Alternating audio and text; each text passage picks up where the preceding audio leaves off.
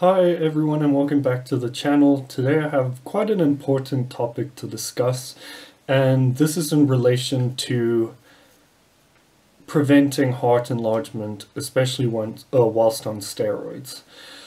So it's been a new thought that, especially in the steroid community, that um, high blood pressure is the cause or at least one of the important causes of an enlarged heart. And I'm not here to disagree with that notion because that is true and high blood pressure is linked to hypertrophy of the heart, um, which is essentially enlargement of the heart, more specifically the cardiomyocytes, which are the muscle cells of the heart wall. But I am here to um, talk about the cause of the hypertension being the most important thing to control when on cycle. And I just want uh, to educate those who don't know already that there is something there's something more sinister at play when it comes to steroid use that needs to be looked at and considered. So I'm Dr. Downey, and uh, let's go through um, this research. So it's quite a lot of research, and I hope to get through it in a, a short amount of time. So essentially it started when I came across a case report of uh, steroid use. Now, case reports aren't the best, but I enjoy reading them. So there was a 21-year-old steroid user who had died as a result of ventricular fibrillation, which resulted in cardiac arrest or a heart attack, and they found that this person was using testosterone and nandrolone. But what was interesting in this case is on, on autopsy is that they found fibrosis of the heart. And this fibrosis of the heart, uh, they were just like fibrosis meaning like scarring and collagen deposition around the heart muscles. And they thought it looked identical to what patients with Conn's disease have, or Conn syndrome. And I'll now, I'll elaborate what Conn syndrome is, but they made some very interesting conclusions. So there have been multiple people to uh, uh, who have refuted this claim that blood pressure control um, is essential on cycle because they say um, it's pointless due to there being androgen receptors in the heart. And what happens to uh, the heart when these androgen receptors are stimulated by uh, testosterone or DHT is that these cells hypertrophy or get larger in size. But um, this uh, effect, whilst is uh, has been shown in an in vitro study, can't be proven in an in vivo study because, um, uh, well, even the uh, researchers mentioned in this paper, they can't prove it's the only reason um, steroid users have enlarged hearts or cardiac problems because there are so many other mechanisms at play which we will discuss. And furthermore, on cessation of the steroids, the heart muscle tends to revert back to size. So it's commonly thought uh, that since this hypertrophy is reversible, that people on a steroid cycle will, uh, whilst they'll have hypertrophy on the cycle, on after removing the drugs, the heart will return to normal. And because of this process of, hyper, uh, uh of hypertrophy is reversible, but this is the problem I want to discuss the hypertrophy isn't the issue here. And so this paper I, I will be referencing a lot in my argument against hypertrophy being the issue here. So the reason I don't think left ventricular hypertrophy in particular, which is the enlargement of the left ventricle, mainly in response to an increased afterload, which is like an increased blood pressure or peripheral uh, vascular resistance, um, the reason it isn't an issue necessarily is because it's a functional change in which there is an increased pressure in the system, so the heart is adapting to this change, and it should make the heart more efficient against this change. So essentially, it shouldn't be pathological, but then why do people with uh, left ventricular hypertrophy have a higher associated mortality and go into pump failure? So whilst I was in medical school, it was explained like the, the heart just gets tired over time or outgrows its blood supply. Whilst I'm not saying those are not true, I'm saying that there's another component that needs to be considered. There needs to be a distinction between physiological LVH, which is when the heart just pumps against this increased demand and grows to meet the demand, or, well, fight against this increased blood pressure, versus pathological change.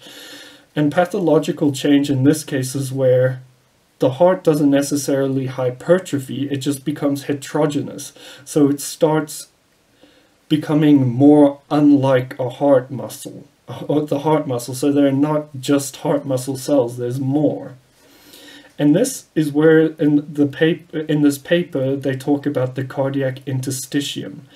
So the interstitium is like the part between these heart muscle cells. And what they found in the interstitium is that they have these cardiac fibroblasts that can result in collagen deposition and fibrosis. So they essentially, if stimulated, they do cause a bit of scarring. So, and this makes the heart more non-functional or heterogeneous, so that this changes how the heart typically looks. While in hypertrophy, the heart looks the same, the heart, the cells are just enlarged. So you get the normal cells of the heart, but they just enlarge. Whereas with this uh, with this hetero uh, heterogeneous change or scarring, the heart looks more unlike itself. So in the study, they looked at patients with hypertension, and they found that um, in the hypertrophied left ventricle, there was hypertrophy, obviously, and this the left ventricle had higher uh, uh, had a very was fighting against a lot higher pressures. They found it was a hypertensive left ventricle, so they had this hypertrophy, but they found that there was scarring or, or fibrosis in the wall of the heart. And so then they they then compared it to the right ventricle, which on the other side of the heart is fighting against your lung va- uh, blood va- uh, vascular system. So, and what they found in this heart, uh, uh, the right side of the heart, is there was no hypertrophy because it wasn't fighting against high blood pressure, but they did also find the scarring so or fibrotic change. So they they obviously concluded from this that in the case uh, that there's something circulating around the body causing this non-specific fibrosis that's not specific to the site of hypertrophy and seems to be related to just um, the high blood pressure in the individual system. And they found it was this hormone called aldosterone.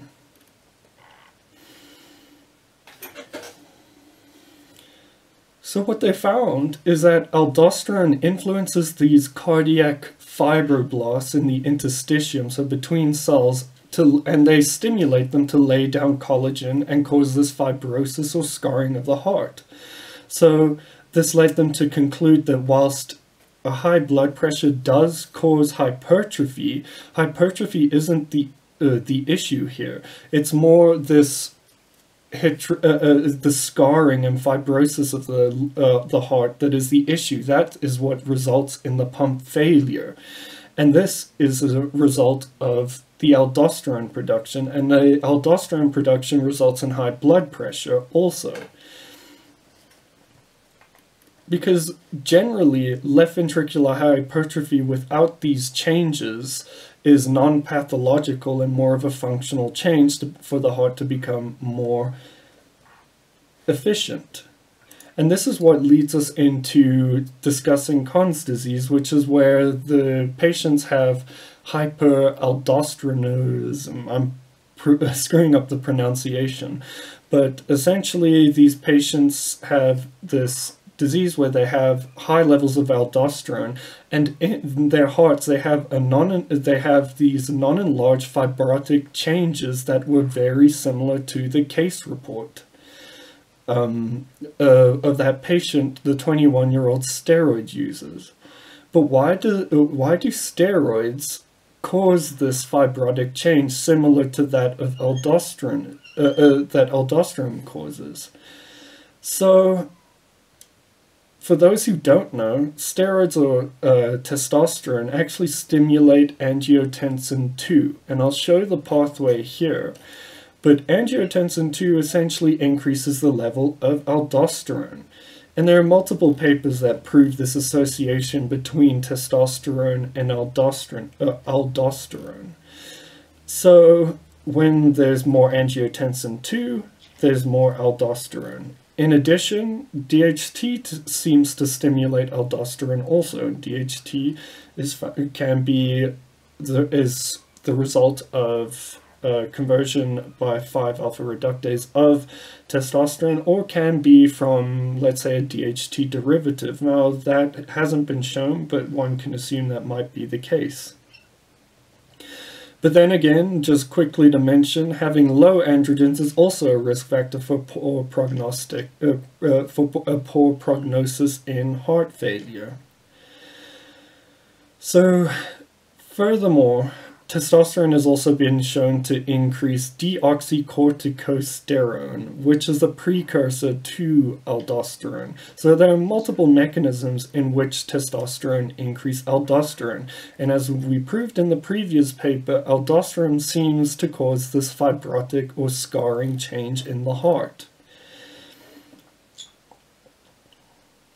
And prior to the androgen receptor hypothesis, that, that the paper about uh, hearts having androgen receptors and that there being hypertrophy, prior to that paper, papers came out about why the hearts and steroid users look different. And they had this, they called it the MC hypothesis or mineralocorticoid hypothesis, in which the steroid users had way too many mineralocorticoids aldosterone is included in that, and that causes the fibrotic change. Furthermore, the, the androgen receptor paper did not find a link between testosterone and fibrosis, but they weren't really looking for that specifically. So again, I um, just want to emphasize this point. Whilst it's commonly thought that controlling your blood pressure on cycle is the main way of preventing heart enlargement, that is true. It does prevent the it could prevent the possible hypertrophy from happen happening. It doesn't cause uh, prevent you from getting this fibrosis or scarring. Furthermore, hypertrophy by the androgen receptors are reversible. So what am I going to suggest? Now, I would never suggest you take steroids, but in the case that you are, and especially when you're using super physiological doses of testosterone, you'll probably get higher doses of aldosterone. And that will lead to scarring of the heart, which is not reversible. So whilst hypertrophy possibly is, the scarring is not. Um, while uh, some cases I've shown it can be, but um, you need specific medications, which I'll mention. So how do you prevent the scarring from happening? And if you have it, how do you solve it, pretty much? So there are a variety of medications and ones that are more, uh, which are a, a, bit safer, such as your ACE inhibitors, which I'll show how they work using the um, flow diagram again. So they essentially just inhibit this angiotensin converting enzyme, uh, therefore reducing angiotensin 2 and aldosterone. Or you have ARBs, which tend to be, or angio angiotensin receptor blockers, which work peripherally and block the action of angiotensin 2. And remember, testosterone increases angiotensin 2. So this is one of the ways in which you can prevent this fibrosis. Angiotensin receptor blockers tend to be better tolerated because they don't cause the dry cough or angioedema, though that's a rare side effect of ACE inhibitors.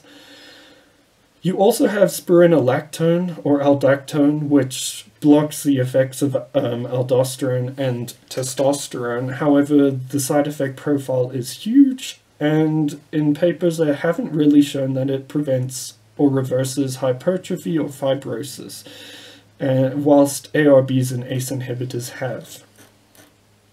So I just again want to emphasize that whilst hypertrophy does occur due to high blood pressure, and it's important to cause uh, to prevent your blood pressure from spiking on steroids, the cause of the blood high blood pressure, uh, the uh, the cause of the high blood pressure, which is usually through aldosterone, because aldosterone increases your blood pressure, that is a more important pathway that needs to be considered.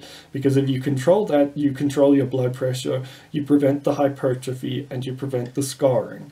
So that's the importance of uh, using ACE inhibitors and ARBs. So I hope you enjoyed this video. Let me know what you think about this topic, whether you disagree, agree, I'd like to know. Um, and I will see you in the next video. Thank you for watching.